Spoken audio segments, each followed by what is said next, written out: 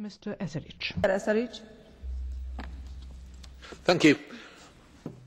We talk about equality post 2015. I take you back to a time a young girl grew up during the Second World War in England. She was from a lower class background than most of the rulers we've ever had in England. She grew up to win a record number of elections in our country. She defeated the hard left in our country. She defeated the Soviet Union and won the Cold War.